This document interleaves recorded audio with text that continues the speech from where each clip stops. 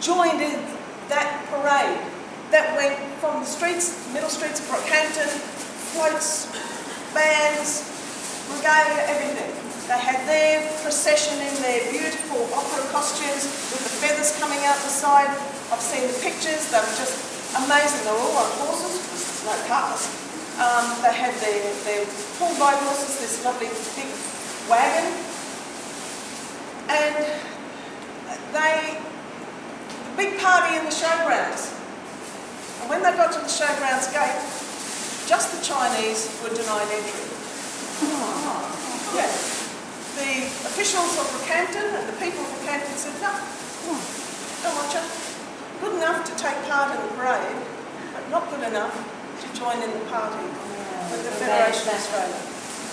So I'm surprised that, you know, a lot of these people still keep, you know, a sense of humour about the whole thing. Yeah, off they went.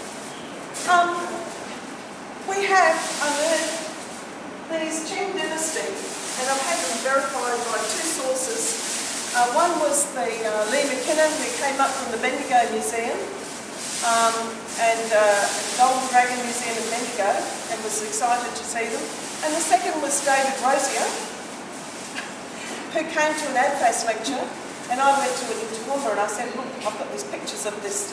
Would you mind giving, because he was all about. So, this is a dragon banner. This particular fellow woman is the um, dragon of the Qing dynasty, the emperor, empress, the last empress, the Dowager Empress, uh, was um, uh, that was her military uh, symbol. It's done. I don't know how many of you are familiar with uh, embroidery and gild work, gold work, but there's a lot of gilding in that. I mean, gold work in that. So that was done. All the scales, the clouds, it's been appliqued on, and this would have been part, I suspect, of the parade. It's Qing Dynasty, it's got to be in that parade that went down to the showgrounds and got refused entry. I think it's just incredible that we have this.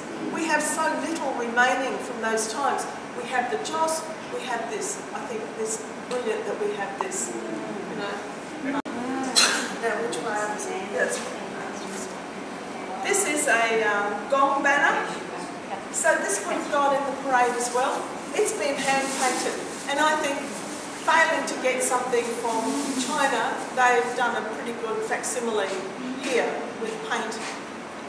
I can't clean it, I can't do anything with it. It's a dragon.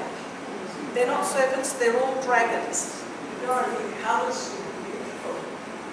Fancy them still being so bright over a hundred years later. I mean, amazing when you think about it.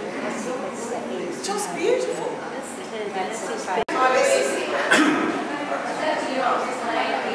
This is old timber and.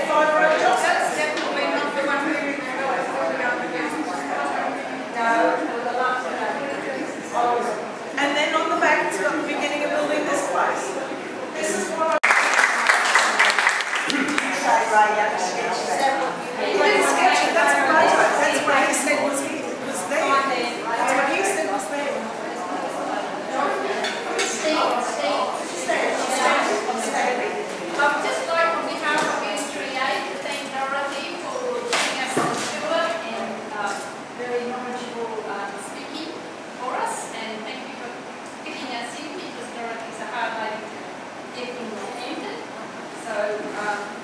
very much appreciated, and I'm sure everybody is thoroughly